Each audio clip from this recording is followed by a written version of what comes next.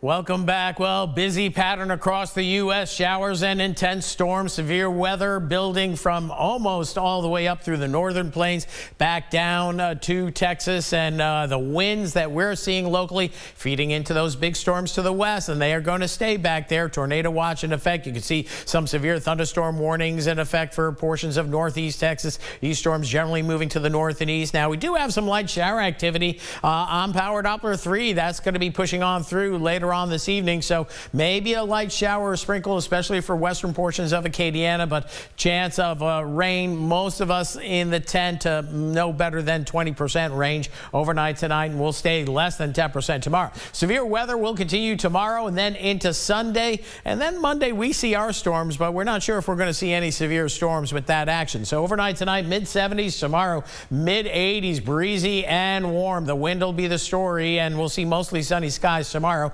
Clouding up a little bit more so on Sunday, but we could see a few spotty showers, but a sun and cloud mix. Temperatures well into the mid to upper 80s. That feels like temperature near 90, but fortunately we have some wind. And here we go into Monday. Showers and some healthy thunderstorms possible uh, as we get into Monday morning into the afternoon hours. Right now, maybe a low end severe weather threat, for perhaps an inch of rain. Much higher rain amounts will be accruing across Texas as we go through this time next week. So uh, big rains there. Locally for us, us. Winds gusting in the 20 to 25 mile per hour range, up to 30 for your Saturday afternoon, and we'll be in the 30, maybe the 35 mile per hour range as we head into Sunday. Bottom line, windy conditions, but not too terribly bad. Overnight tonight, 72 year low with generally fair to partly cloudy skies, clouding up though later on this evening. Breezy south to southeast winds, keeping any fog at bay, and then tomorrow, windy, warm, and humid, 87 the high. Don't forget the sun, uh, sunblock and the hats for tomorrow.